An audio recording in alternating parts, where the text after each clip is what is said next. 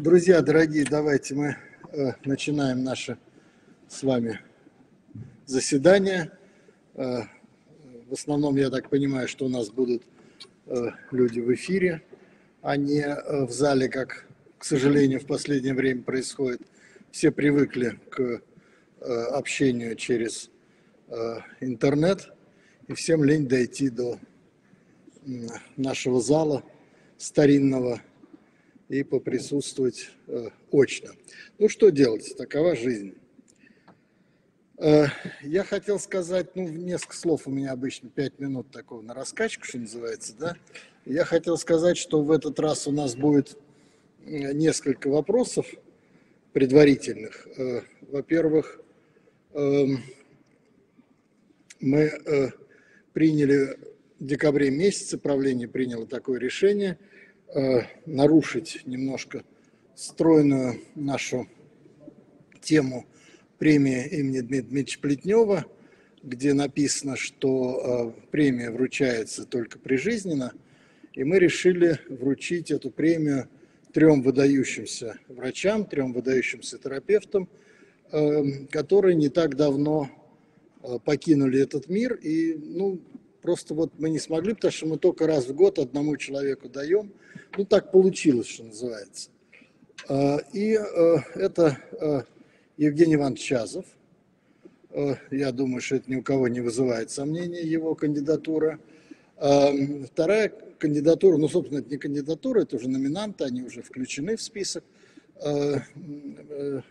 лауреатов премии.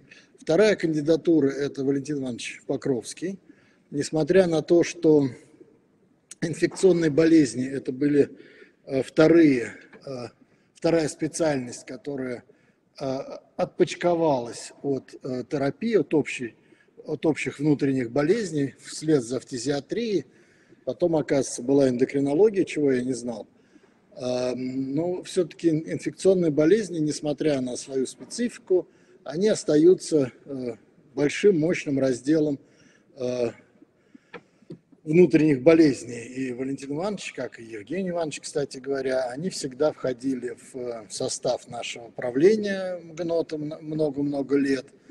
Вот, и поэтому я думаю, что это как бы некая такая историческая справедливость устанавливается в том плане, что мы их э, считаем тоже лауреатами премии, потому что премия у нас присуждается за выдающиеся достижения в, России, в, России, в российской, в развитии российской терапевтической школы.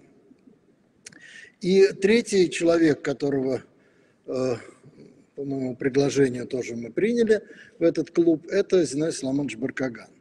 Он, конечно, не москвич, он э, э, выступал очень много раз на этой площадке здесь, в терапевтическом обществе. Каждый год он приезжал на декадник, обязательно бывал на заседании, которое проходит в память Иосифа Абрамовича Кассирского, а теперь мы назвали это э, не чтение э, памяти Кассирского и Андрея Ивановича Воробьева, потому что это отец сделал вот это вот 16 апреля, день рождения Иосифа Абрамовича, и как бы в память об этом каждый год проходили гематологические такие чтения. Мы сейчас вот решили придать этим чтениям именной характер.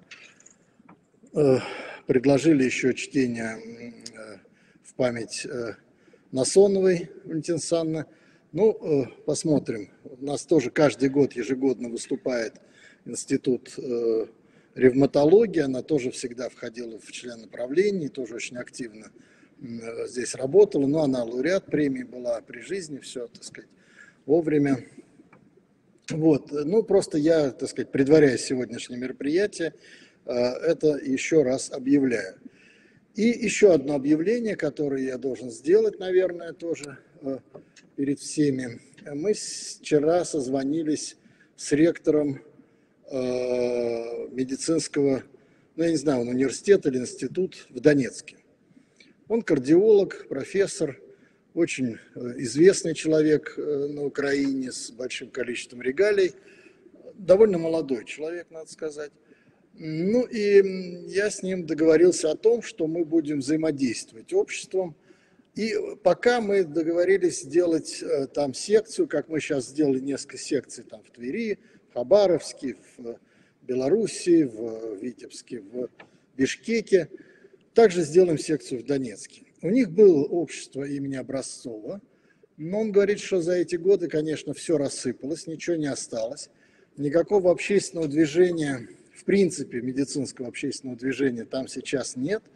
И он был очень благодарен э, вот тому, что мы это дело э, решили сделать. Посмотрим, может быть, мы также договоримся с Луганским медицинским институтом. В принципе, как бы они там рядышком. Э, ну, мне кажется, что это будет для всех, для нас тоже хорошим ходом, потому что, ну, они будут участвовать в наших мероприятиях, слушать наши вебинары. Э, я думаю, что какие-то движения, так сказать, они будут, потому что наше общество, я напомню, это едва ли не единственное такое общество, которое все-таки занимается продвижением идей, продвижением новых направлений, новых работ, а не просто начитывают э, э, в угоду Биг Фарме какие-то лекции. Мы занимаемся делом. И я считаю, что это очень хорошее, старое, исходно заложенное в нас э, качество, мы его должны развивать. Вот. Ну, а сегодня у нас торжественное заседание, посвященное э, чествованию номинанта Э, прошлого года, 2021 года, потому что у нас процесс начинается в конце года, а он там довольно длительный, участвуют в, в нем э, специально отобранные люди, которые голосуют. Вот. В этот раз мы решили присудить нашу премию имени Дмитрия Дмитриевича Плетнева э, академику Малееву. Ну, он является вроде бы тоже инфекционистом да, и так, э, печать, инфекционист. На самом деле он терапевт, насколько я знаю, начинал он работать вообще просто терапевтом, да, в деревне, врачом по нынешним временам общей практики. Вот. А кроме того, он известен э, тем, что он является основоположником, в какой-то степени основоположником вообще всей интенсивной терапии в России. Почему? Потому что он э, во время холерного эпизода, да, когда у нас, у нас в 61 году началась пандемия холеры, да, насколько я знаю. И одна из вспышек была в 70-м? Нет, это в Астрахани. Официально она началась в 61-м. Там были каракалпаки, еще что-то такое. Пандемия, да. Вот, но была астраханская вспышка, которая очень известна, про которую очень много мы всегда говорили. И именно в это время появилась вот э, э, разработка э, ну теперь уже академика Малеева, это э, растворы, большое количество растворов солевых, которые можно переливать больным. И, собственно говоря, в этом сегодня состоит лечение холеры. Я с удивлением обнаружил, что э, ВОЗ не рекомендует или особенно не рекомендует антибиотики. Я всегда считал, что все-таки антибиотики это как бы ну, идиотропная терапия, ну, а это патогенетическая. Оказывается, нет, оказывается, достаточно просто отлить соленой водой. Единственное, объемы большие, 8-10 литров в сутки, так на минуточку, да, или даже 30, насколько я знаю, там бывает. Вот, э, то есть это сверхбольшие объемы жидкости. Ну и, в общем, вот нужно было сделать из этого не просто физраствор, это должны были быть взвешенные э, по ионному составу, да, полиионные, но они разные полиионные растворы. Вот. Ну и на самом деле это стало потом дисолью, трисолью, официально выпускаемыми. Да, это стало регидроном, как мы знаем, который ушел из России. Ну, чуть-чуть украли, там бывает. Это обычная для нас история. Вот, то есть получается, что академик Малеев стоял у э, истоков современной э, реанимационно-интенсивной терапии, потому что без растворов сегодня лечить нельзя. И все больные, у нас первое еще начинается любая интенсивная терапия, это установка капельницы, пускай это будет физраствор или там какой-нибудь раствор трисоли, но это обязательный элемент. Без этого просто больных не лечат сегодня. Вот, поэтому, конечно, мы э, это должны помнить. Ну и кроме того, э, э, участие практически во всех вспышках всех инфекций в мире это тоже такая немаленькая часть, потому что у нас не так много врачей, которые помотались по всему миру, по всему свету и полечили там больных.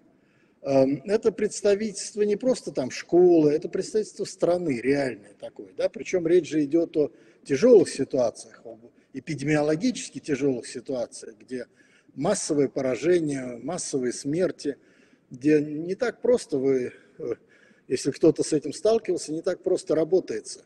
И там не всегда к вам по-доброму относятся к врачам, иногда их считают врачами-убийцами.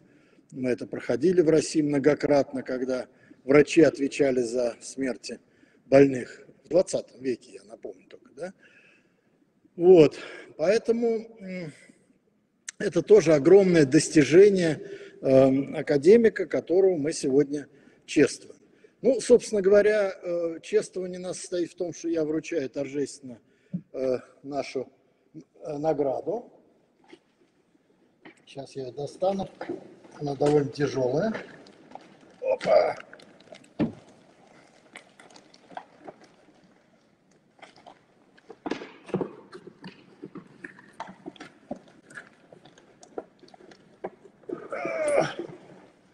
Она вполне себе натуральная, это камень и металл.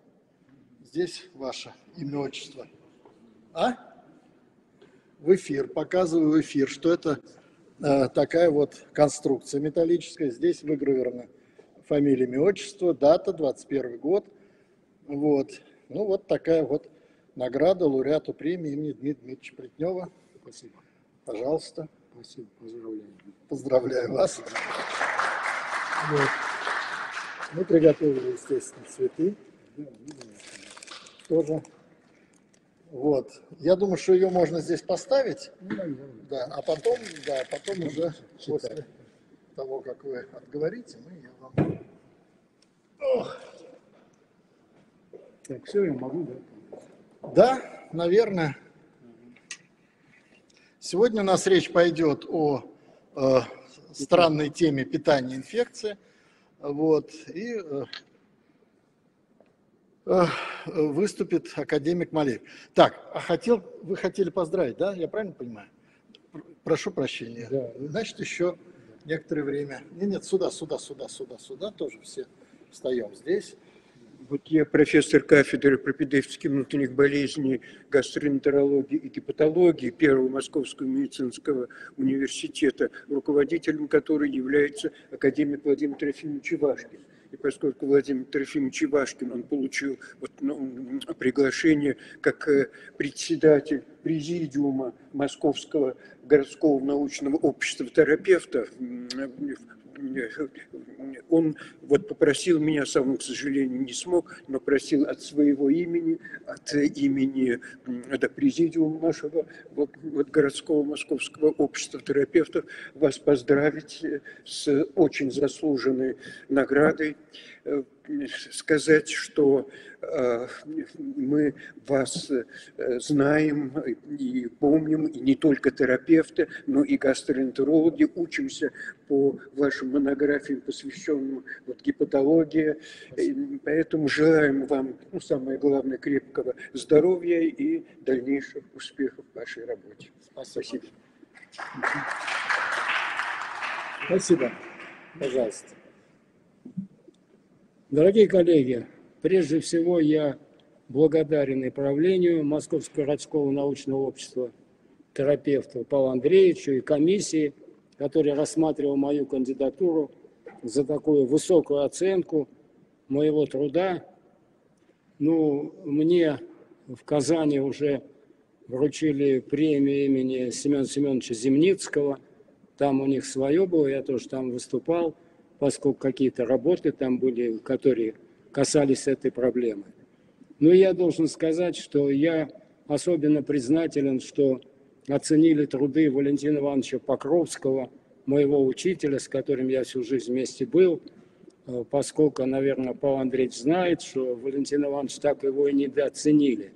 Некоторых там академиков награждали всем возможным. Валентин Иванович много сделал – и поэтому мне особенно приятно, что это вот общество почтило его труды, его заслуги большие. И еще Андрей Иванович Воробьев говорил, что э, Валентин Иванович не только инфекционист, но и лучший терапевт. Он лучший среди терапевтов, он всегда это отмечал. его заслуги и так далее. Ну и я знаю труды Баркагана тоже, соответственно, потому что у меня даже есть книга «Гемостаз и инфекции в инфекционной патологии», я изучал его труды, поэтому приятно, что я думаю, что этот бенефис не только мной, но и Валентина Ивановича Покровского и, соответственно, соответственно, Баркагана и так далее, кто в этом направлении работал.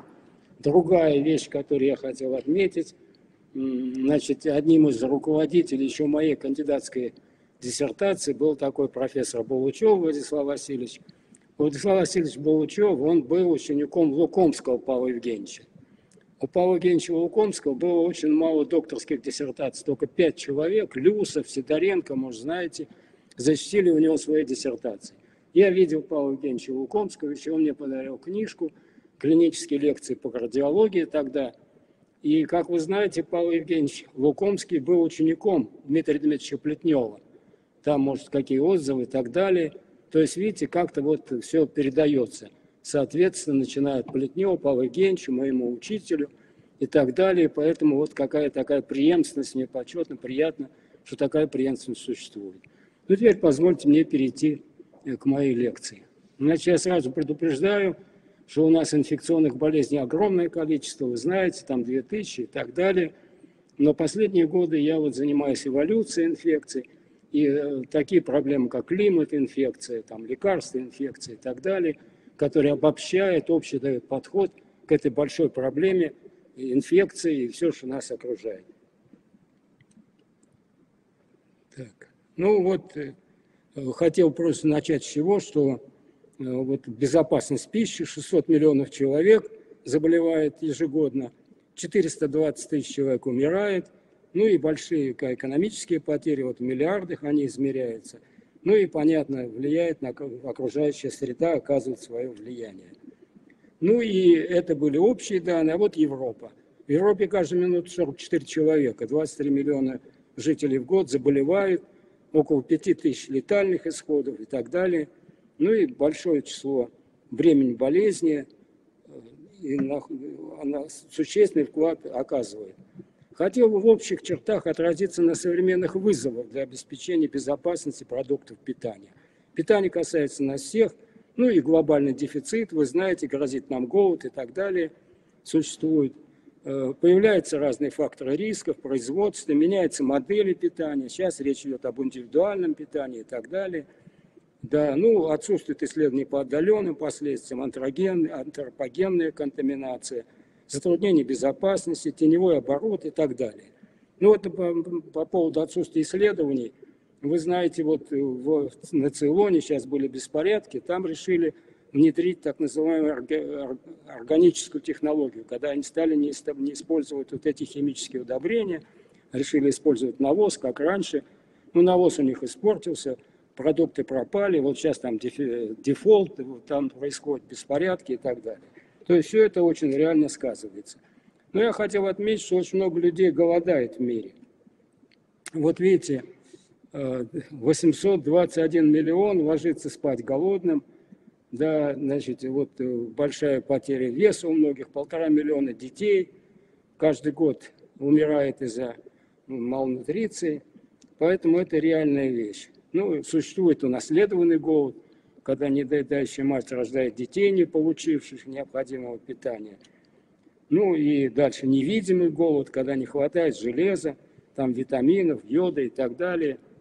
Ну и, конечно, имеется тесная связь между неполноценным питанием и инфекцией, зависимость и всасывание нарушается, катаболизм повышенный и так далее, иммунные механизмы. Все это имеет место. Я уж подробно не буду останавливаться. Понятно, что прежде всего этих детей, которые с нарушением всасывания, питания, у них диарея, основное, то есть острая кишечная инфекция идут большое количество, и это основная причина смертности в Азии, в Африке. Да, ну и другая ситуация. Вот здесь сказано пневмонии, э, бактериемии и так далее. И другие инфекции у них тоже протекают тяжело. И вот было сказано, что в Колумбии, даже если э, ребенок не очень тяжелая инфекция, но на фоне недоедания – летальность такая же, как и при, тяжелом, при тяжелой инфекции. То есть все это сказывается взаимно. Но в то же время значит, если посмотреть, то в два раза больше людей на Земле страдает от избыточной массы тела. То есть, если сравнить, миллион людей голодает, 2 миллиарда, миллиарда, да, 2 миллиарда людей имеет избыточную массу тела и ожирение. Видите, каждый четвертый и 600 миллионов человек, у них уже ожирение, которое превышает длинность массы тела больше 30 на килограмм на метр квадратный. Да, но это сказывается на инфекцию. Вот вы видите, что тяжелое течение гриппа чаще бывает у э, как раз лиц с ожирением, и то же самое осложненное течение гриппа. Эти факты известны. Да, ну вот такая ситуация с ковидом. Вы знаете, что основные умирающие, летальный исход у больных с ожирением выше на 45%, здесь показано. Риск госпитализации выше и так далее. Да. Ну вот даже такая инфекция, как туберкулез, понимаете, тесно связана с питанием. Ну мы привыкли, что недостаток питания влияет. Но оказывается, есть такой латентный туберкулез. Так вот, латентный туберкулез чаще всего бывает при ожирении. То есть это сказывается. И вот терапевты обсуждают такую проблему, как холестерин, липополисахариды высокой плотности, низкой плотности. Оказывается, тесное отношение имеет к туберкулезу. Этим никто не занимался. Но если у человека высокий уровень холестерина и так далее, то ему легче бороться с туберкулезом, если будет очень низкий. Поэтому, когда мы назначаем статины, все это надо иметь в виду. Обращать ли на это внимание или нет, я не знаю. Но это факты литература соответствующая, есть и все. Ну и, наверное, надо сказать, что имеются новые технологии, вы знаете, все время это производится, э, для хранения другое. Э, раньше мы вообще в холодильнике там в деревнях не знали. Пастеризация, транспортировка, интенсивные технологии в сельском хозяйстве, стимуляторы, э, ирригация и так далее. Все это оказывает тесное влияние. И мы видим, что изменяются приоритеты безопасности, появились прионы, появились менингиты, аборты, которые связаны с питанием, споровые формы квастридии и так далее. Да, ну этот слайд, он такой громоздкий, но он показывает, что сейчас нельзя оценивать бремя, так сказать, экономические и так далее, только в долларах. Мы все оцениваем, вот сколько долларов теряем из-за той или иной болезни. Вот на, там в Европе принято, и по Всемирной организации здравоохранения, принято считать годы потерянной жизни – не только потерянные, но и годы, так сказать, неполноценной жизни, с инвалидностью и так далее. Вот мы видим тут красным подчеркнуто, как много в Африке теряется из-за нарушения питания, сколько много лет, так сказать, целые годы жизни теряются только из-за того, что люди не неправильно питаются или вообще находят недостаточное питание и так далее. Вот здесь показаны ведущие болезни – на первом месте у нас тут шерихиозы, салмонеллезы, э, затем норовирусы и так далее, вот эти, ну и глистные заболевания. Вот они больше всего э, составляют годы неполноценной жизни из-за этих болезней и их осложнений. Да, ну это вот данные российские. Ну, видите, в период в 2020 году из-за коронавируса недостаточно было регистрация, обращаемость и так далее, как будто было снижение кишечных инфекций. Это динамика заболеваний инфекционными диареями, да. Ну и другая, тут видно, что больше половины этих болезней не устанавливается этиология. Этиология только в меньшей части. Вот это коричневое, этого этиология здесь не установлена.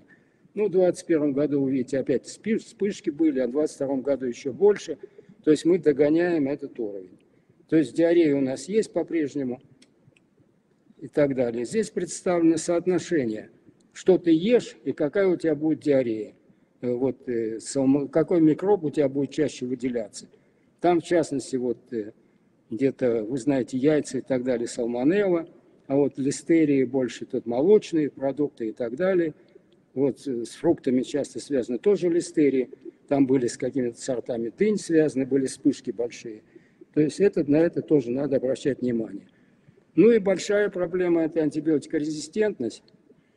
Специально я не буду, но вы знаете, что и в животноводстве, птицеводстве и так далее большое количество антибиотиков применяется. В 2010 году 63 тысячи тонн антибиотиков в мире применялось только вот в животноводстве и птицеводстве. К 30 году, считают, два раза больше будет. То есть тоннами, большими тоннами, тысячами тонн определяется количество вводимых антибиотиков. Из ну вот видно процесс весь, как это из животных, из растений поступает к человеку. Но здесь последний вывод важен, что один из пяти человек, который поступает в стационар и который никогда в жизни не принимал антибиотики, у него все равно находят эти резистентные бактерии и так далее, поскольку он питался, он никогда не принимал антибиотики, но питаясь, питаясь он, так сказать, все равно насыщал свой организм этими антибиотиками. Вот лидеры по содержанию антибиотиков в продукции животноводства вы видите, здесь представлены Китай, Индия, Иран, Турция, Кипр и другие страны, да. Вот э, тут показано годовой объем потребления антибиотиков в медицине и ветеринарии на примере Дании. В левой части слайда мы видим синим это ветеринарии, а вот коричневым это у нас в медицине. Ну вот тут ситуация какая была – до 1997 года в Дании антибиотики свободно продавались. Потом в медицине ограничили. И уже вот этим желтоватым показано, что в медицине количество не растет, потребление. Но как резко оно растет в желтнову, в ветеринарии, вот этим синим, оно нарастает, то есть все больше и больше идет потребление. Хотя в медицине уже они смогли у себя, по крайней мере, у себя в стране ограничить. Ну, здесь представлено, что если вы съедаете килограмм мяса в какой стране, сколько каких антибиотиков вы тем самым получаете.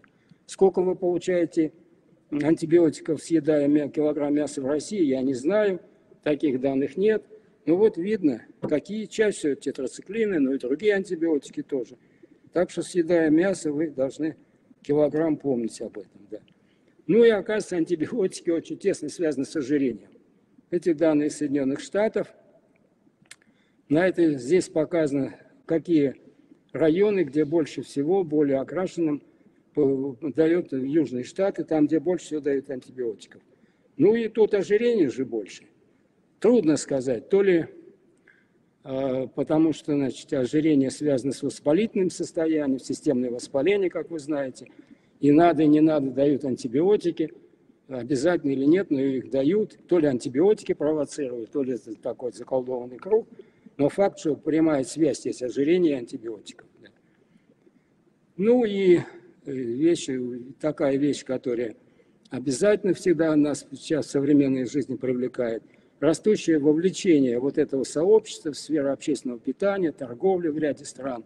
Среди них много описано эпидемий, и дизентерии, и зоны, и флекстера. Дело все в том, что сейчас они в приоритете их берут в эти бары, в органы питания, их причем не проверяют – эти люди очень часто там находятся, они гуляют, вот такие мероприятия, фестивали и так далее. И все это вместе тоже сказывается, кончается все обычными инфекциями. Да, ну и глобализация производства, когда мы не знаем, откуда поступил продукт, как он, очень трудно проверить, когда в одной тарелке из разных стран, тоже это оказывает существенное влияние. Ну и очень важна онлайн-торговля, которая все больше, раньше такого не было, сейчас же она расширяется – видите, она нарастает, увеличилась, увеличится 20, 10 раз к 2022 году, особенно в период ковида. Видите, продажи еды через интернет в 2020 году выросли в три раза. Да. Ну и существует такая вещь, как прионные болезни Крейцфельда якобы, который распространял через международную торговлю продукты мясо и костяная мука, боялись завозить в Россию и так далее – и э, через кровь, кровяные продукты, даже через медикаменты. Ну и большая проблема – это демография питания. Дело все в том, что нам скоро не хватит продуктов. Вот если вегетарианское меню будет, то хватило бы кормить 6 миллиардов. Вот я показал на апреле этого года практически 8 миллиардов населения. Вот я тут данные официально сделал. Ну и понятно, что мясных котлет и рамштексов нам не хватит – и согласно прогнозам к 50 году потребление продуктов питания с 2012 годом из-за роста на земле земли удвоится. Да. Ну и тут вот сказано, что самое большое падение ожидает, по данным ООН, за последние годы мировое потребление мяса, ну, белковых продуктов, в том числе и мяса. Да, и ну, вот в Китае и так далее большая часть э, мировое производство мяса падает – болезни, африканская чума свиней и так далее, которые сильно сказываются на продукции животноводства. Ну и тут тесно связано с климатом, потому что вырубают леса Амазонки с тем, чтобы там сою производить и так далее. В результате тропический лес разрушается, и, конечно, это, они являются легкие, легкими планеты, поэтому на это надо обращать внимание.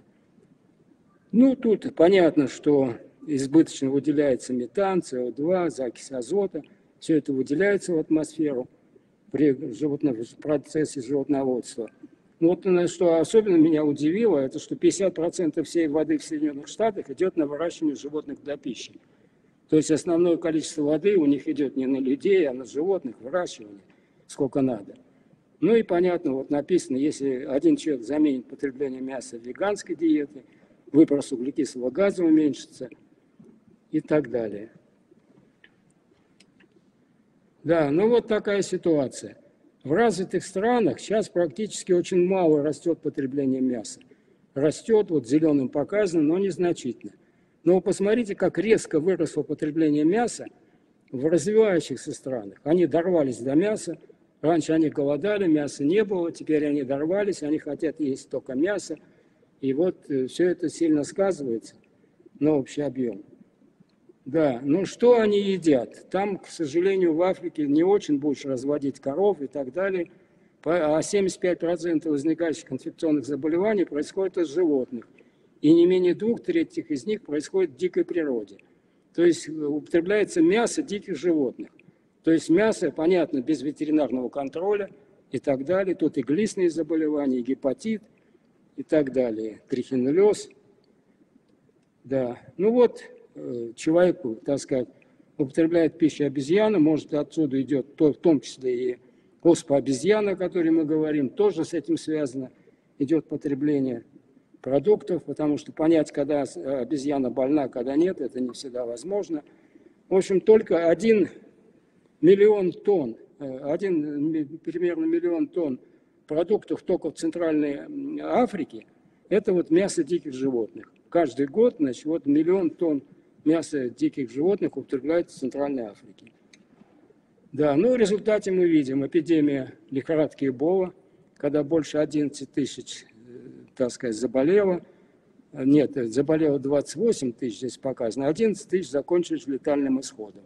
Сейчас происходит лихорадка Эбола идет в Демократической Республике Конго. Вот тут перечислены другие страны, когда были в 2014-2016 э, годах и так далее. Следствие тоже употребление мяса диких животных.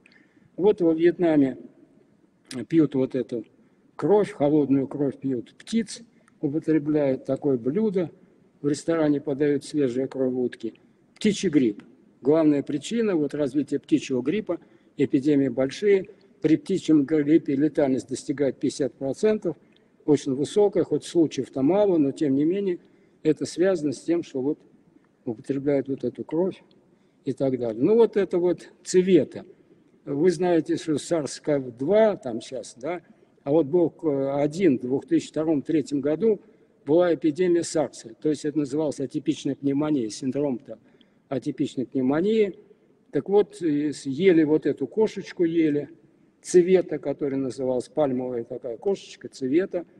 И вот произошла эта атипичная пневмония, когда кто-то ел ее, эту кошечку в Китае, в Канаде люди умерли, потому что разъезжались и так далее. Там какой-то известный французский профессор умер вследствие этого, который первый диагноз поставил. Ну и второе, в 2012 году началось коронавирус другой, это вот э, средне э, Middle East Respiratory Syndrome, то есть ближневосточный респираторный синдром, который вызван коронавирусом. Он продолжается до настоящего времени, летальность 35%. Вот вы видите, Сейчас зарегистрировано 2591 больной, 80, почти 1000 летальных исходов, ну вот где-то 35% такая летальность. Вот. Виноват такой, такая симпатичная летучая мышь, которая называется могильный мешкокрыл, резервуарный хозяин этого вируса. Дальше речь идет о одногорбых верблюдах, поражает одногорных верблюдов.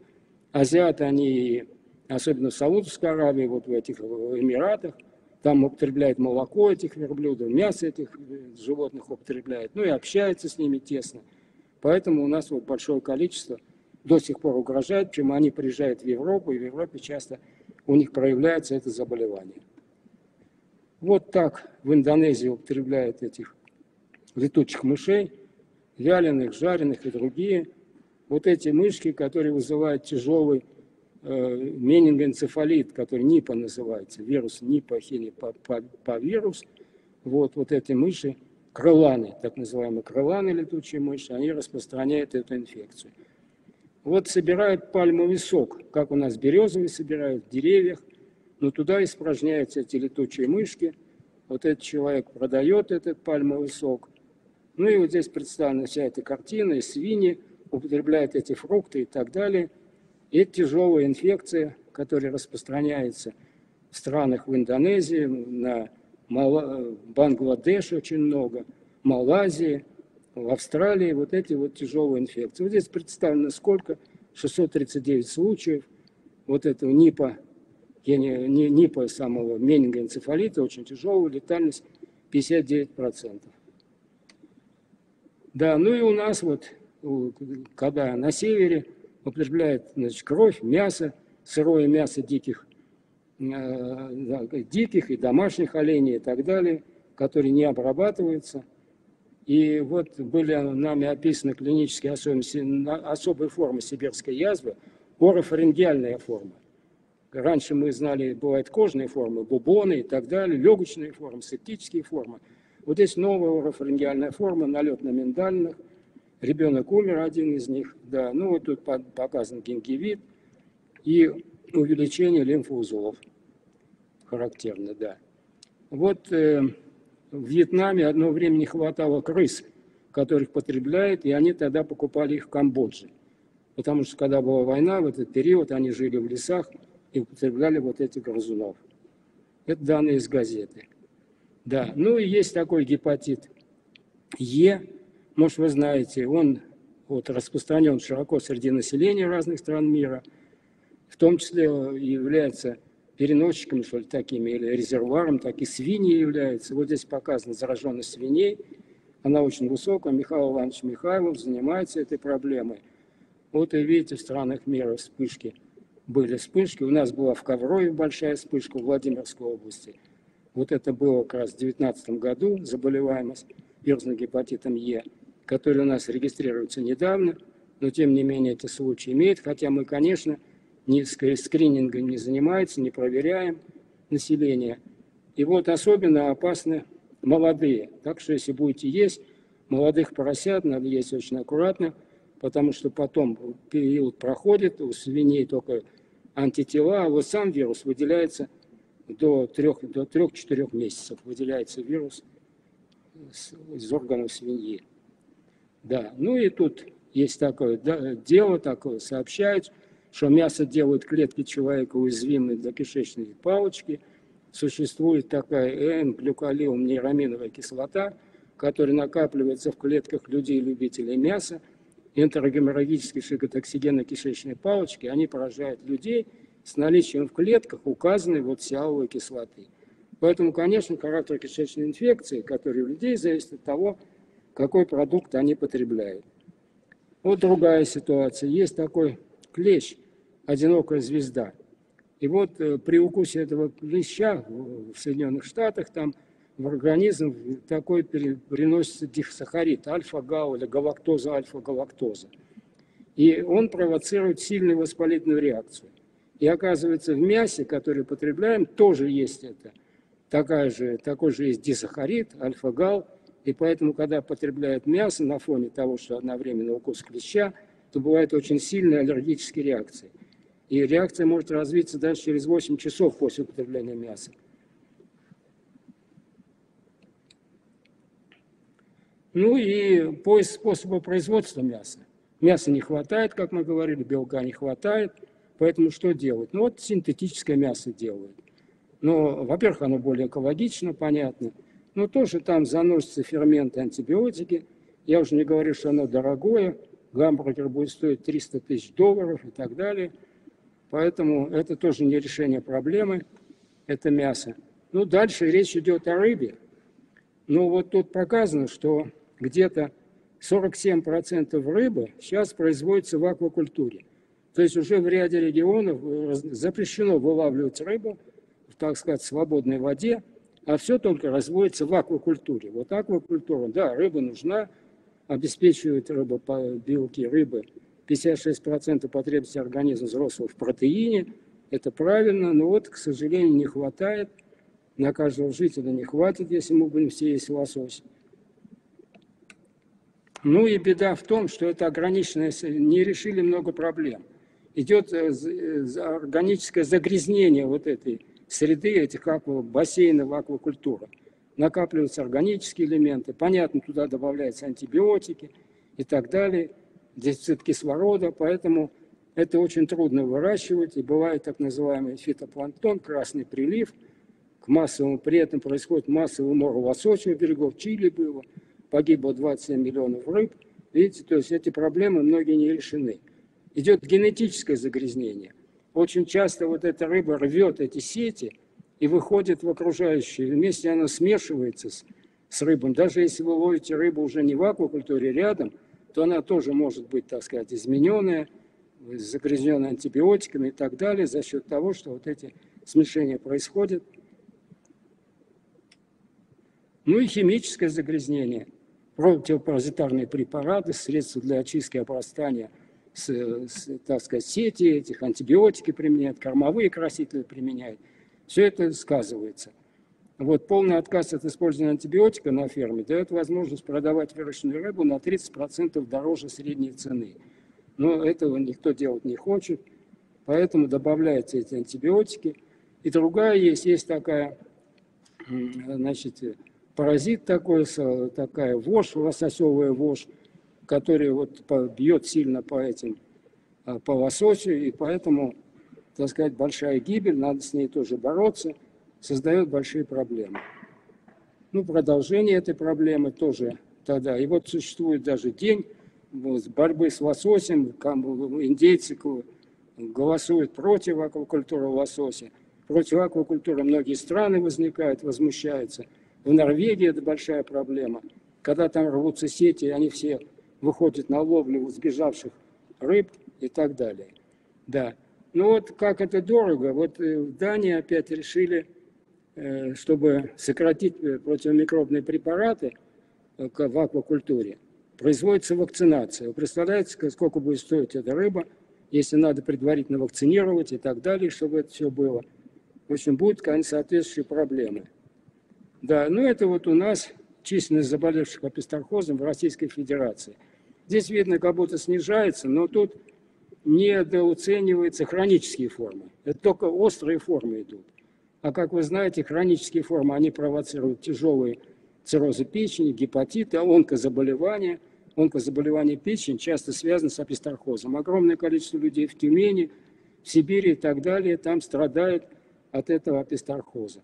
Ну вот имеется на Приморском крае кулонархоз, тоже большая заболеваемость им идет вот особенно карась, вот э, сом и так далее, возможные источники заражения. Другая ситуация – это онкостомидоз, вот они есть, онко, вот, они тоже самые глисты в Приморском крае, продолжение жизни вот этих анизокидозов. Вот такая личинка в желудочно-кишечном тракте, анизокиды под следствием слоя желудка человека. Вот анизокидоз – большая проблема в Японии, на нее обращают внимание существенное – ну и профилактика, это нельзя употреблять сырую рыбу, сырые морепродукты. Очень много заболеваний из-за суши. Вот эти суши, которые применяются, конечно, они тоже очень часто мы видим отравление после их применения. Теперь другая проблема – это рыбные войны идут. Рыбы не хватает, целый ряд стран, Исландия с Великобританией воюют, из-за тресковых войн, тунцовые войны, здесь кальмаровые войны, крабовые войны, вот, палтусовые, Брексит – который привел рыбные войны и Брексит между Англией и Францией. Да. Ну и вот теперь вы мне скажете, что делать. Скажете, а вот может вегетарианцем быть. Если ты будешь вегетарианцем, тогда инфекции не будет. Нет, инфекции вас тоже и там найдут, потому что очень часто в результате такого питания вегетарианского развивается анемия, о которой Павел Андреевич рассказывал недавно, тяжелая, особенно дефицит витамина В12, Ну и тесно это связано с воспалением, и поэтому ковид у этих веганов протекал более тяжело, и поскольку там и анемия, и все это нарастает. Ну и существуют другие проблемы. Есть такое понятие из-за резкого из-за увеличения потребления в пищу бобовых развивается синдром дырявого кишечника. Если избыток потребления, описан такой синдром, конечно, он сказывается на бактериальных инфекциях, да, за счет этого увеличивается, нарушается микрофлора, и все это имеет большое значение. Вот этот синдром дырявого кишечника самый, да. И было большое отравление, где-то 4 тысячи человек заболело, где-то где, -то, около 800 э, там так далее, вот летальные исходы были, связаны с тем, что из, из Египта в Германию завезли пожитник, такое бобовое зерно, который применяет семя, что ли, который применяется как раз в вегетарианских диетах всех. И была огромная ситуация, вызвана гемолитико-уремическим синдромом. Был тяжелый гемолитико-уремический синдром, Эшерихия коли, О104. Вот она вызвала, и поэтому, вот видите, тут большое количество, особенно в Северной Германии было. Ну и дальше что нам делать? Вот тут написано, что тарелка будущего. Что делать? Вот рекомендуется э, традиционные новые источники сырья искать, новые белки надо искать, новые социальные ниши, персональное питание. Что делать? Э, ряд отраслей отмирает, перестают производить какие-то продукты и так далее. То есть это большая проблема. Вот показано, сейчас белок делается из растений. Делается молоко из растений, яйца из растений, мясо и рыба делается. Все на основе синтеза растений применяется. Из водорослей много чего делается. Применяют, так сказать, вот культура, особые ферментации, биомасса ферментируется, молекулярная агрикультура и так далее. Вот видно, что нас ждет в ближайшие годы. Ну вот одно из таких особенностей, вот вы видите, здесь происходит то подъем, вовлечение этих продуктов, то опять недовольные люди, не все люди могут привыкнуть к этим продуктам. Ну и вот одна, одна из продуктов, значит, которые сейчас усиленно применяют в Европе, это насекомые. Вот, значит, известно, что существует более 100-900 видов съедобных насекомых. Это жуки здесь показаны чаще всего, пчелы, осы, бабочки, кузнечики, термиты. И в Африке употребляют 250 видов насекомых, в Мексике 549, в Японии употребляют ос, в Китае и так далее. И вот в Европе пять стран, сейчас уже больше, особенно вот Финляндия, у них существует значит, еда, так разрешили проблему съедобных насекомых внутри страны с сентября 2017 года, особенно в белковой части и так далее. Ну, чаще это черви, домашние сверчки, тараканы, саранча и так далее. Вот эти продукты продаются в Москве. Я там ничего не рекламирую, я их сам не употреблял, но вот такая, такое существует – причем очереди стоят в Москве, не хватает этих продуктов, любителей много. Вот видите, мука из саранчи, кузнечики в темном шоколаде, консервированные скорпионы. Тут э, большой набор различных продуктов. Ну, вроде экология хорошая. Почему? Потому что, во-первых, не надо много корма. В среднем 2 килограмма корма переходит в 1 килограмм белка от насекомого. А если мы будем корову кормить, то надо 8 килограмм корма, чтобы получить 1 килограмм прироста массы тела. Ну, нет парниковых газов не будут, они могут питаться отходами, ну, меньше воды и так далее надо. Поэтому вроде выгодно. Ну, и у них микроэлементы есть тоже, поэтому вот полезные они в этом плане. Всего различные, да. Ну, с тем думали, раз назначить это, то уже не будет инфекций. Но оказывается, кузнечики поражают своими болезнями, у них свои заболевания, есть сверчковый паралич. Вот, и поэтому это надо тоже все учитывать, пока еще мы массово не перешли на еду насекомых. Да, вот австралийцев призвали не есть слизней. У них бывает, поражается оболочка головного мозга, тяжелый менингит бывает, но они продолжают употреблять вот этих слизней. Да, и вот э, было специальное исследование проведено, где посмотрели, какой риск будет, если мы будем потреблять вот насекомые и так далее. Нашли, что у, у них обнаружено большое количество паразитов у этих насекомых. Обнаружены паразиты патогены для насекомых, паразиты потенциально патогены для людей. И понятно, и по... но тем не менее они в Европе говорят, что съедобные насекомые не- недооцененный резервуар патогенов животных и человека. Да, ну и что делать? Вот собрались ученые, стали думать, что делать, не хватает продуктов. Ну, говорят, что нужно повторное, то есть неиспользованные продукты вновь давать. Ну, надо сокращать объем потребления, да. Ну, нужно годность пересматривать. Вот Россия единственная страна, которая указывает дату выпуска и срок годности. Нигде это не указывается. Поэтому ищут, как сэкономить. Ну и вот одно из решений этой проблемы, это в некоторых ресторанах ввели закон чистой посуды, штраф за остатки пищи на тарелке. Видите, в разных странах существует такое. Ну и это шутка, организм ослаблен потреблением мяса, не способен бороться с инфекциями. Это 12 стульев, Вильф и Петров. Я не хочу, как говорится, вам портить аппетит, но вот такое высказывание было. Спасибо за внимание.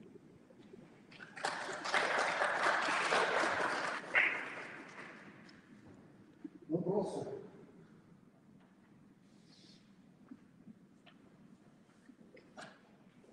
Давайте посмотрим. Там не было вопросов, что-то тут А сейчас давайте посмотрим. да. Выключил, что ли? Так, видите. Я не вижу, посмотрите. сейчас я посмотрю вопросы, да.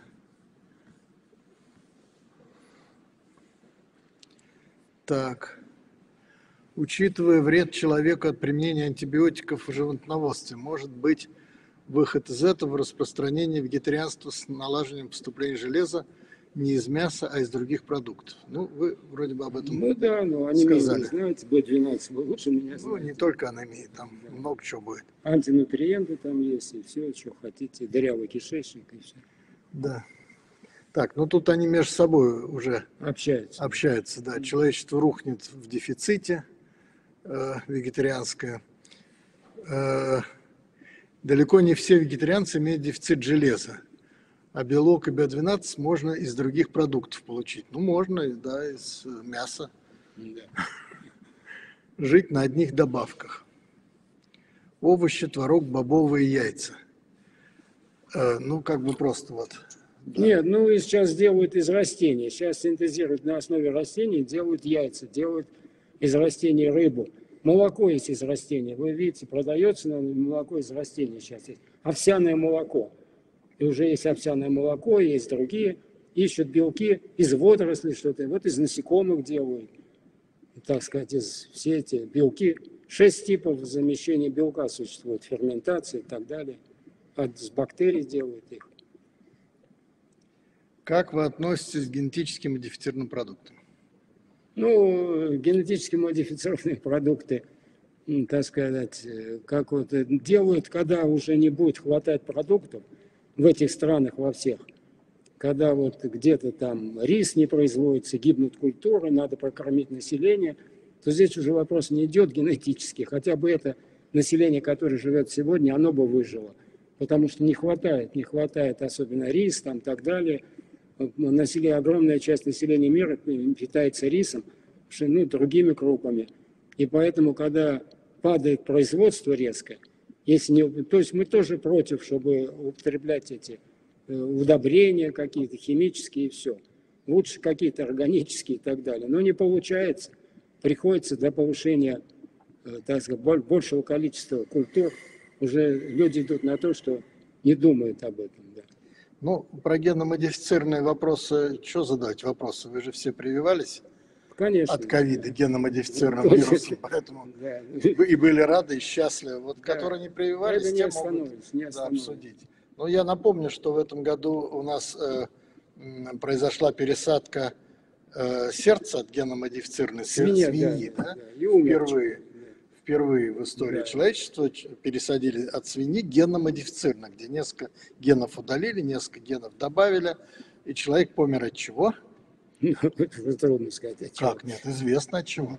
От э, вируса, но А, свиного. ви- да, свиного цитомегаловируса. Цил- Цитомегалоз вирус свиньи. Читал, да, цитомегаловирус. Ну, это такая тоже тема. То есть вроде как все почистили, все отлично.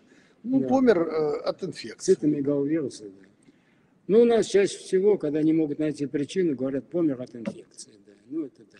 Ну, я тоже, на самом деле, далеко не уверен, что он умер от цитомегаловируса, но Ну, да. Написали Ну, в том так. числе, да. Может быть и так. Еще вопросы? Давайте, профессора. Спасибо за прекрасный доклад. Да. Скажите, пожалуйста, вот в этом году в Санкт-Петербурге была очень большая проблема. Впервые Полюшка, большие партии было оказались заражены крестами, насколько я понимаю. Я не способен ничего сказать, каким, э, соответственно, видом. Э, Скажите, пожалуйста, а вот с чем это связано? Все-таки Полюшка и никогда такого не было. Может быть, это вообще какие-то поиски наших друзей. Э, И в конечном итоге что делать? Потому что заморозить в этот период времени в общем-то, не получится. Либо наоборот замораживать все-таки, только после этого ее выпускать в продажу. Ну, проблема, первая, эко- экология, конечно. Ну, кукурышка хорошая рыба, но первая экология, кто там следит, что там выбрасывается. У нас это постоянно, это не контролируется. Вы знаете, и вот эти мусорные свалки, стоки и так далее. То есть все это имеет место, никуда не девается. Ну и какие-то заболевания рыб есть.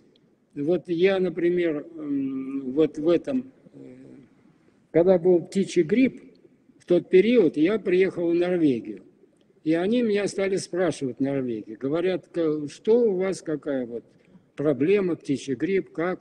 Я говорю, да есть. Они говорят, вы что вы, у нас рыбий грипп.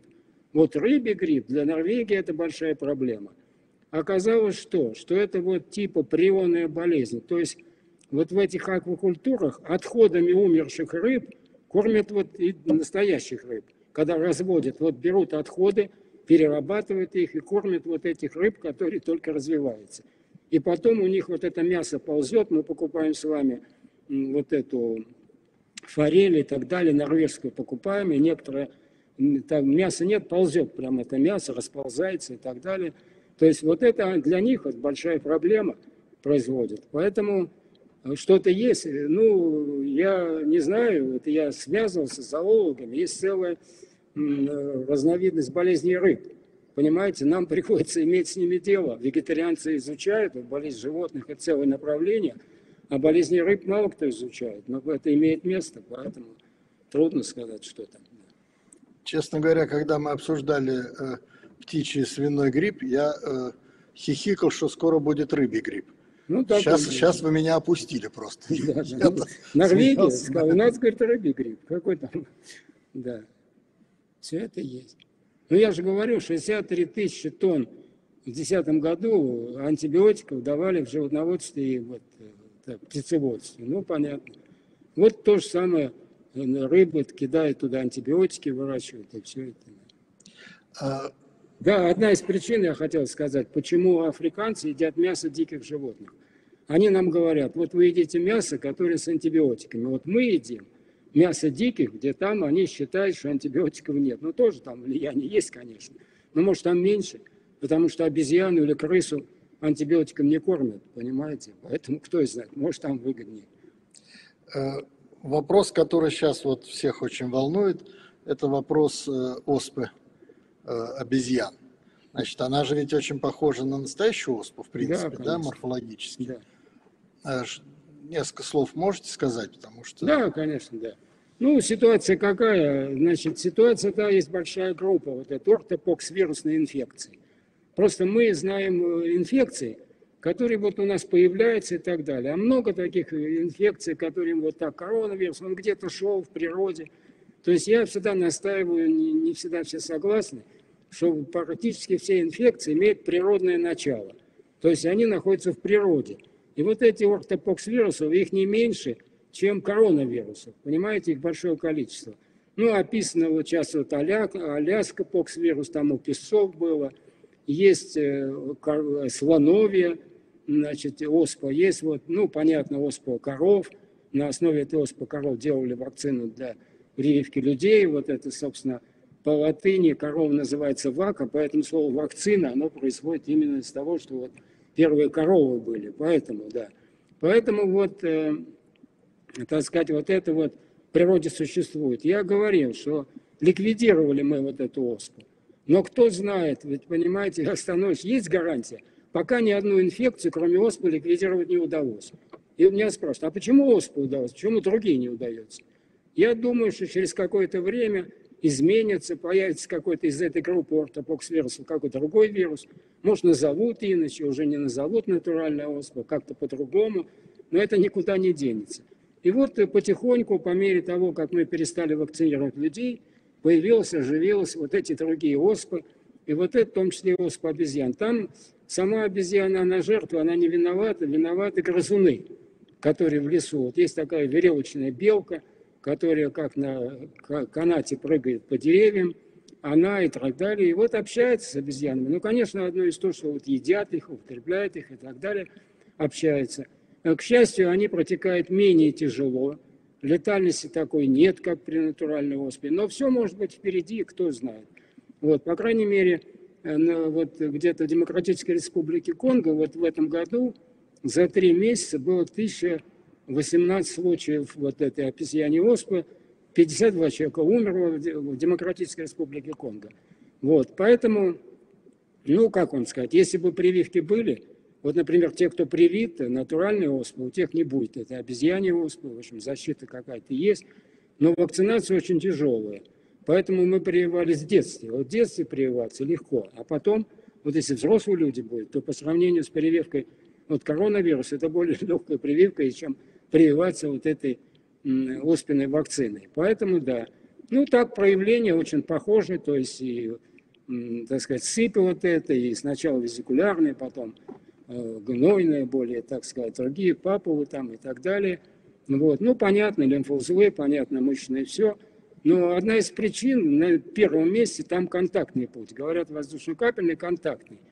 Ну, тут часто тесное общение, употребление общих. Ну, вот тут вот в 1959 году, когда в СССР завез этот художник Кокорекин, завез эту оспу, художник, он купил в Индии ковер, какой-то дорогой ковер купил, подарил своей любовнице. Вот этот ковер, понимаете, ну, дело, как всегда, видимо, Бог наказывает, или что, я уже не знаю, как, или наоборот, кончилось все миллионы, и любовницы все умерли, понимаете, там все это было. Вот, поэтому особенно опасно вот это общение, полотенце, там, подстилки и так далее, салфетки даже, все это очень опасно.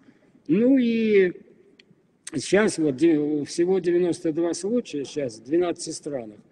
Ну, у меня такое подозрение, что это связано с этими МСМ, мужчины, имеющие секс с мужчинами, потому что там нет женщин больных, болеют в основном мужчины, болеют в возрасте от 30 до 40 лет, все это известно. Были какие-то ночные клубы, есть в Антверпене такой клуб Darkland, когда, ну, темная страна переводится, темная страна там, вот они общались между собой, потом разъехались по всем странам. Нет, ну кто-то занес из Нигерии, конечно. Первый приехал из Нигерии, занес это, а затем уже, так сказать, прошло.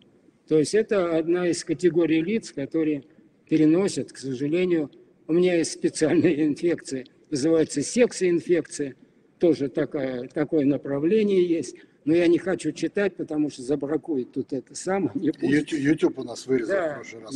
YouTube тот раз забраковал, мало того... Лекция вот здесь лежит, кто да, хочет, да. может взять. Мало кассете. того, увидела случайно моя жена, говорит, ты что на старости лет с ума сошел?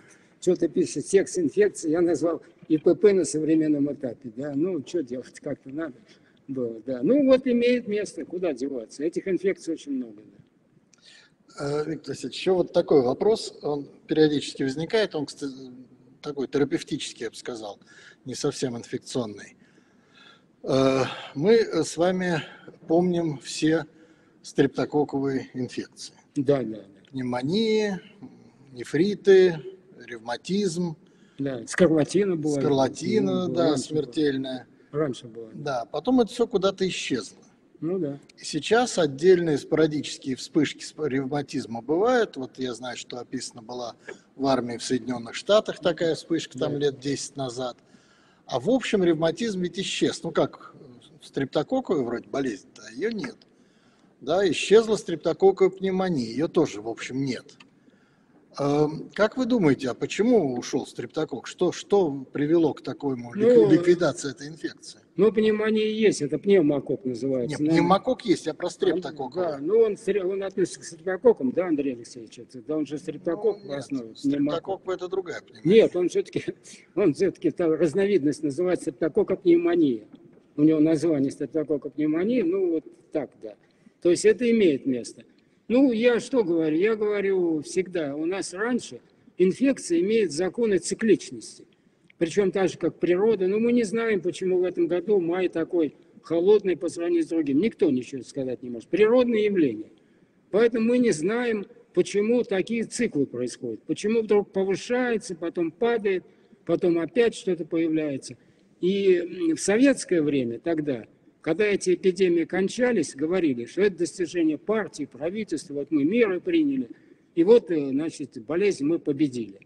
Но свои законы, которые не всегда происходят. Ведь никто не знает, почему этот ковид возник. Есть мнения разные и так далее. Поэтому то же самое касается. Какие-то другие. Одно время был такой токсический стрептокок, назывался корнеед, э, такой, который разрушал ткани. Было большое количество стрептококков у женщин с этими менструальными тампонами, были огромные шоки, были такие описания тяжелых стрептококков, да. да, таких стрептококковых поражений. Я думаю, что придет время, будет, все будет, никуда не денемся. Может, не в нашей жизни. Мы не знаем, сколько эти циклы длятся. Если эти циклы длятся по сто лет, то мы уже следующее поколение только увидит их, а не мы. Да. И будут думать, что это такое. Да. А кто-нибудь вообще похожие модели строит? Ведь это же можно попытаться смоделировать. Сейчас же искусственный интеллект для этого есть такие вообще ну, умные вещи. Ну, значит, вот попытались э, делать математики, делали модели, когда кончится ковид, чего да, строили, причем подключили академические институты. И э, там была сессия Академии, посвящена, вот, когда обсуждался ковид было, выступал математик из Новосибирска, я слышал. И он рассказывает, что мы применили какую-то модель Монте-Карло, такие названия красивые, еще какую-то модель с красивой, какая-то розовая модель, такую модель, такую. Потом э, этот самый президент Академии его спрашивает, ну так когда закончится коронавирус? Ну мы это не изучали, мы только сравнивали эти модели, мы смотрели, какая модель лучше, какая нет, а вот э, мы не можем пока ничего сказать. То есть даже, понимаете, вот это конкретно не могут. А поэтому построить. Ну и какие-то работы с этим моделированием, они очень опасны. Почему опасны? Потому что есть такая функция у вирусологов, называется gain of function. То же самое думали по поводу коронавируса. То есть что можно сделать? Ученые, сидя в лаборатории, могут начинать создавать более, они моделировать, пытаться на животных и так далее, создать более сильную патогенную форму. Вот можно такую, а можно создать другую, можно ослабить действие, ослабить, а можно в эксперименте создать очень патогенную форму. И вот боятся, что если эта форма появится, понимаете, то потом она уйдет, так сказать, они создали в эксперименте, они не думали, накачали, создали. Вот они моделируют. Они почему моделируют? То есть, а что будет, если вот эта форма будет? А что будет, если так? Вот, поэтому, ну тут э, как, вот некоторое моделирование опасно, понимаете, потому что можно такое создать вот, э, в результате.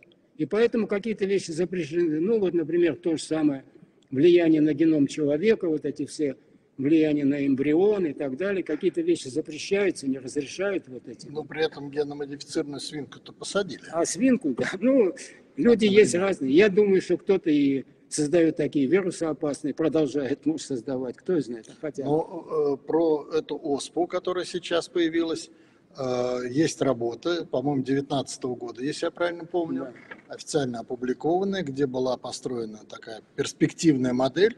Да. И было сказано, что в мае 2022 года вполне вероятно развитие ну, может, вспышки. Да, не может уже кто-то и... Может, это случайность, я не утверждаю ничего. Это может да, быть конспирологические какие-то вещи. Но кто-то да, какие-то модели пытался построить. Поэтому какая-то версия все равно сохранялась, что коронавирус не просто, а все-таки кто-то чего-то там да, пытался делать. Где, не знаю, в США, в Китае, еще где-то, кто знает. Ну, говорят, на Азове теперь. Ну да, может быть. На Азов. Но это шут, шутка, шутка, шутка, шутка, мы только пошутили. Ну да. Так, еще вопросы, друзья. Задавайте, профессор Овчинников.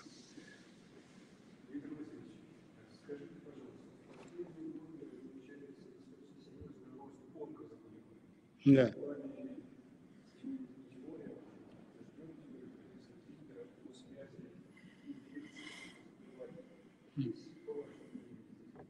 Ну, да. Сейчас, ну, одну секундочку, я повторю, потому что не слышно. Нет, я слышу. Нет, не слышно в эфире. Значит, э, профессор Овчинников спрашивает э, о теории Зильбера по поводу э, вирусной природы онкологических заболеваний. Если, есть ли, по-вашему, такая связь? Ну, вы знаете, ну, А? есть институт. Идет рост, я повторяю в эфир просто. Да, ну давайте отвечу. Значит, э, что я могу сказать? Что терапевты, вот особенно Насонов, они разрабатывают теорию, вы знаете, которая называется системной воспалительной реакцией. Вот считается, что даже там не холестерин, это системная воспалительная реакция. Вот они переключились на ковид. Сейчас первый человек по ковиду вообще Насонов, потому что он рассказывает, Евгений Львович, все время, что вот как раз мы дождались, ревматизма-то нету, а вот как раз ковид системным воспалением. Вот это системное воспаление, которое никак- до сих пор его толком не знает. Во-первых, все многие считают, что это воспаление, э, так сказать, стерильное, что оно безмикробное. Но безмикробного в организме человека столько микробов не бывает ничего. Поэтому известно, что вот эта хронизация, все хронические инфекции, которые вирусные и так далее, что если они долго существуют, и они провоцируют, и в результате этого системного воспаления бывает и нарушение гемостаза, и инсульт, и апис, за счет того, что вот это системное воспаление все время по- постепенно есть. И, конечно, вот это системное воспаление, сейчас говорят, оно и болезнь Альцгеймера вызывает, и так далее, если оно есть. Ну и понятно, что вот если такое длительное у вас хроническое, вот это вот, э, так сказать, э, организм не справляется, сейчас же есть хронические эти инфекции, есть так называемые биопленки, когда у вас длительно этот микроб находится, он постоянно вот нагнетает, вызывает такие стимулы, и в результате, ну, иммунные нарушения и так далее. Ну и, конечно, внешняя среда. Вы же видите, какое питание, если все это будет, если эти факторы будут, они тоже будут вместе. То есть нельзя думать, что онкозаболевание раньше, то нельзя всегда думать, что это одно. Вот говорили, что вот атеросклероз, холестерин, вот это главное. Оказалось, что не только холестерин, холестерин есть, надо что-то еще. Сложные процессы. И чтобы возникла опухоль, надо, не- нельзя вот так односложно, что-то одно, понимаете, появились онкогены какие-то и так далее. Все в комплексе. Вот, например, прививка от э, папилломовирусной инфекции, вот хроническая, вот она профилактика. То есть, да. Но не прямая. Ну, не прямая. Значит, доказательств Да. теории, вирусной теории рака Да. не существует, к сожалению. да. Ну, в комплексе, все вместе. В комплексе, да, вот с точки зрения воспаления никаких вопросов. С точки зрения прямого влияния Сразу от опухоли, сразу рак, такого нет. а от инфекции рак не получается пока. Так, еще какие-нибудь вопросы? Э, Я бы попросил профессора Овчинникова два слова сказать, как бы, в заключение. Я потом заключу тоже, но просто, чтобы у нас все-таки... У нас сегодня небывалое событие, присутствует несколько членов нашего правления. Поскольку вы много прогуляли,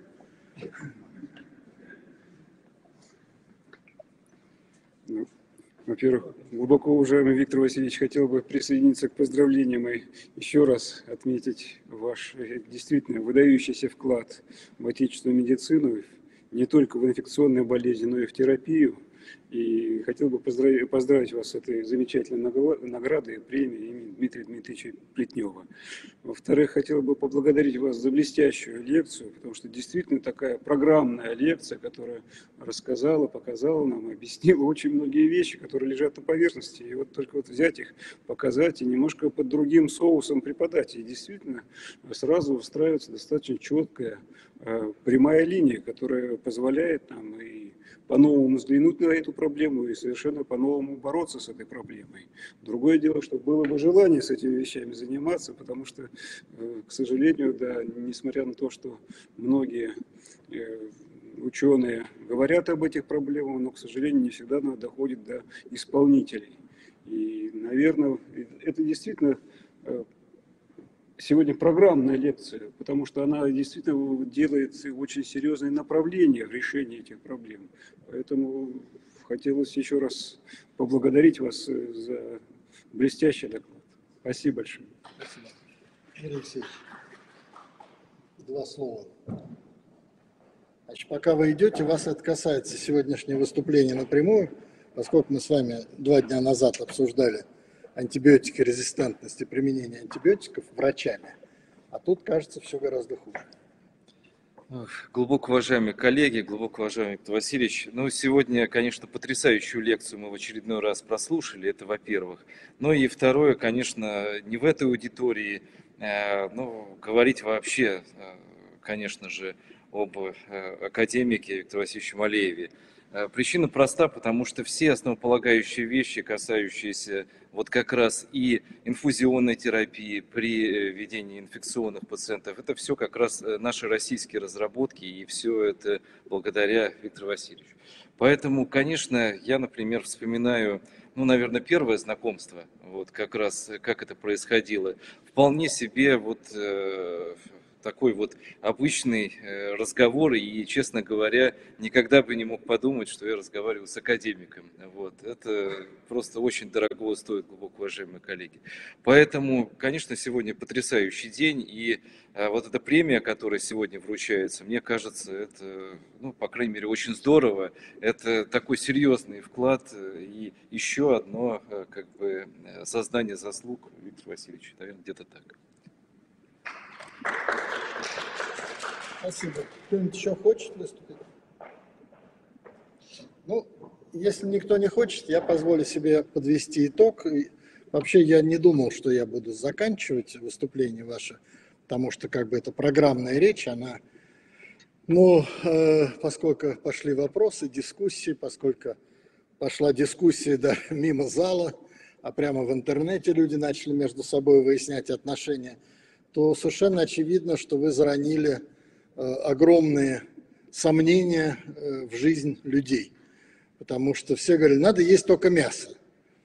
Да, ну только на килограмм мяса вы получаете пачку антибиотиков. Ну, я так, грубо говоря, да. А Вот. Надо есть только рыбу, да, но с рыбы вы получаете, ну, и личинки с какие-то, и тоже антибиотики те же, и вообще неизвестно, куда все это движется, потому что на самом деле, что там с рыбой происходит, не ясно. М, Я как-то был в Дудинке, есть такое местечко, а, спустя несколько лет после того, как шарахнула турбина на Саяно-Шушенской ГЭС. Помните, да, там был, была авария. И э, э, во время этой аварии смыло садки, которые стояли на следующей за Саяно-Шушенской ГЭС, там 10 километров, еще одна есть станция, и там стояли садки с лососем. И все это вымыло. И весь этот лосось из садков поплыл себе по Енисею, э, проплыл, значит, Красноярскую ГЭС и ушел. И теперь несчастные жители Дудинки и окружающих регионов говорят, о чем мы ловим какую-то красную рыбу.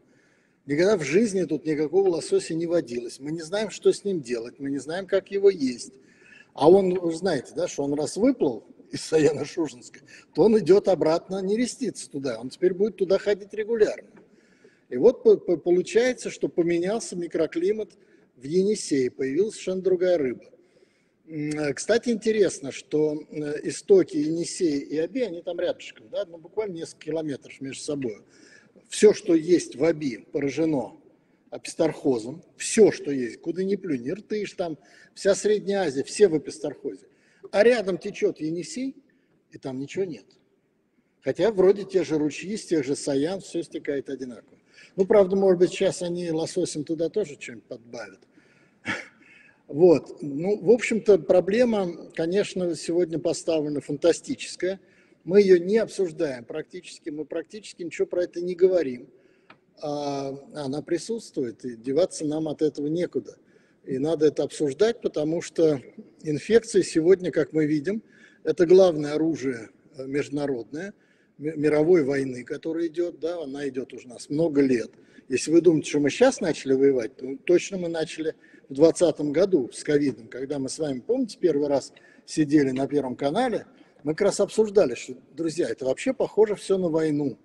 Да, просто война стала другой, сейчас воюют по-другому. Вопрос не в том, что кто-то изобрел этот вирус и запустил, а вопрос в информационной составляющей, в локдаунах, в том, что погибли бизнесы, в том, что погибли люди от того, что заблокировано здравоохранение. Вы знаете, что сейчас ВОЗ объявил, на два года снизил средняя продолжительность жизни человечества. На минуточку. И это не от того, что они переболели ковидом, а от того, что произошло вокруг, все это вот вокруг нас. Да? Миллионы и миллионы погибших – это люди, не болевшие ковидом, это люди, пострадавшие от этой ковидной войны. И, э, ну, в общем, вот, хотим мы того или нет, э, против человечества идет война со всех сторон. Биг фарма, биг производители еды, Э, производители каких-нибудь, я не знаю, стиральных порошков. Все это, вообще-то говоря, не полезно. Ну, так промелькнуло тут про клеща, который вызывает аллергию.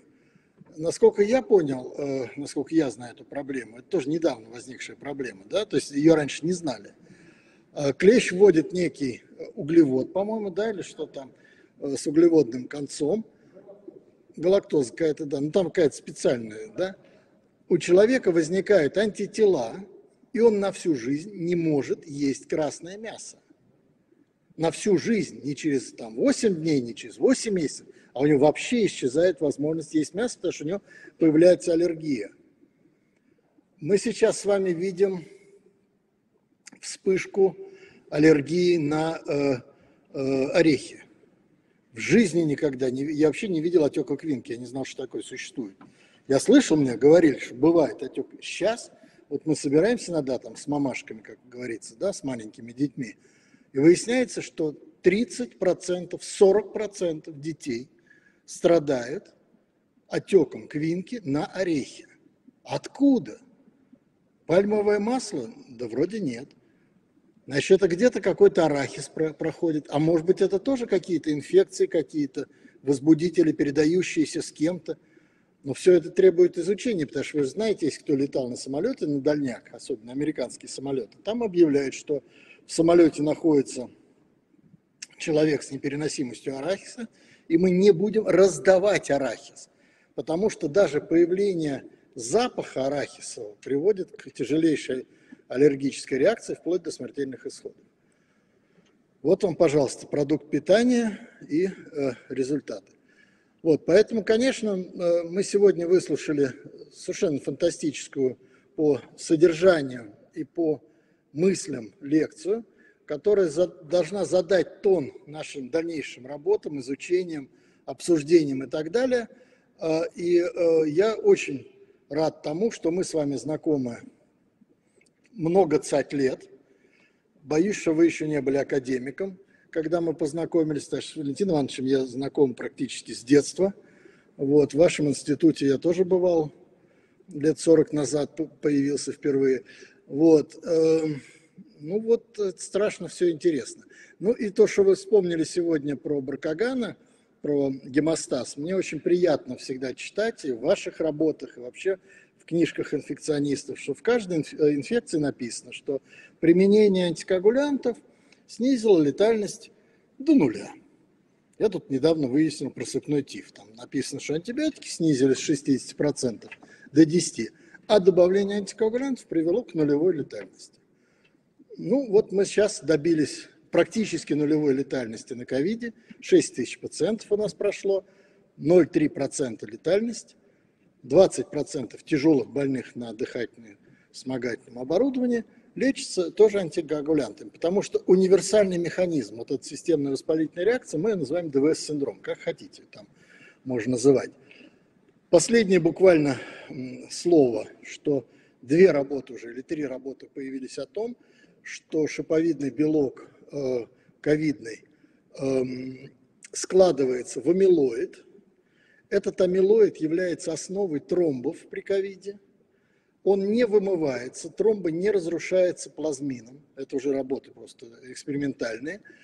И есть последовательность в этом шиповидном белке, которые э, вызывает образование амилоидных фибрил.